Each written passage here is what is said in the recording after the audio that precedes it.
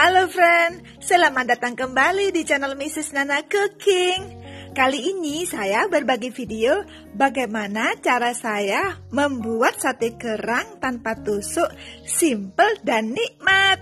Yuk kita langsung aja ke bahan-bahannya dan cara masaknya. Tapi sebelumnya jangan lupa subscribe channel kami dan tekan tombol loncengnya.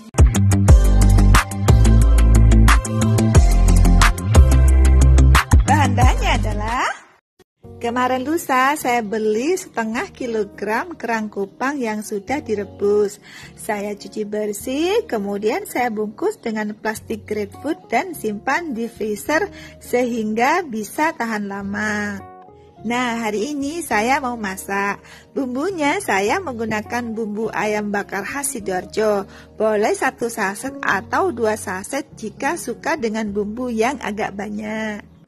Jika suka dengan rasa pedas manis, bisa ditambah satu sendok makan gula merah dan tiga buah cabai rawit yang dihaluskan. Untuk mencairkan kerang, panaskan air. Kalau sudah hangat, matikan kompor lalu masukkan kerang dan biarkan selama 20 sampai dengan 30 menit. Kalau sudah nyair seperti ini, maka kita kasih bumbu.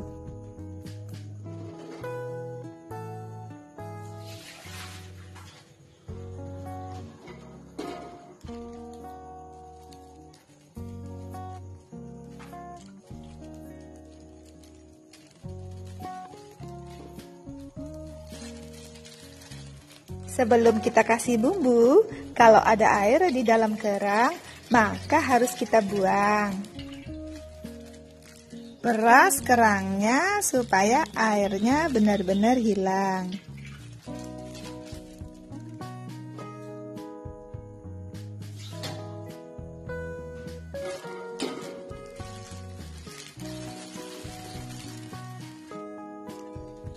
Lalu masukkan bumbunya ke dalam kerang.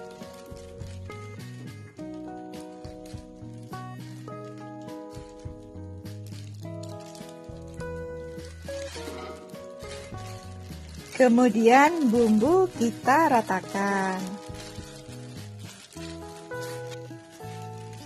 Kalau bumbunya sudah merata, tuang ke dalam happy yang sudah dialasi dengan daun. Gunakan api kecil saja.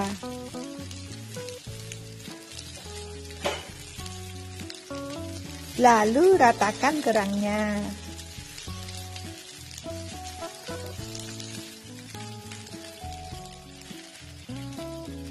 Kemudian kita tutup dan biarkan selama 5 menit.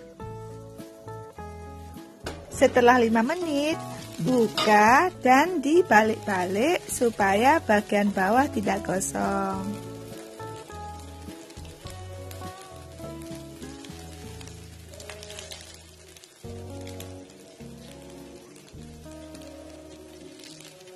Kemudian kita tutup lagi dan biarkan lagi selama 5 menit.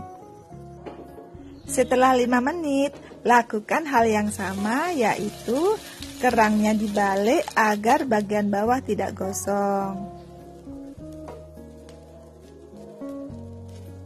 Kemudian kita tutup lagi dan tunggu 5 menit lagi Sehingga total manggangnya 15 menit ya Sate kerang siap dinikmati. Saya suka memasak dan suka dengan makanan bervariasi. Saya akan mengupload ke YouTube apa yang saya anggap enak. Jika teman-teman menyukai resep ini, klik tombol like, subscribe, dan tekan tombol loncengnya ya, supaya teman-teman tidak ketinggalan video baru dari saya selanjutnya. Terima kasih. Jangan lupa klik subscribe ya supaya tidak ketinggalan video-video baru dari kami selanjutnya.